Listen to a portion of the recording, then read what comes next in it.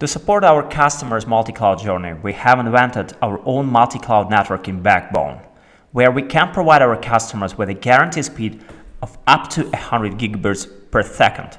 We provide our customers with the ability to connect directly to the cloud service providers, uh, and we also have the presence at the main peering points all over the globe. So we have our own hardware-based networking backbone which supports our customers' multi-cloud journey.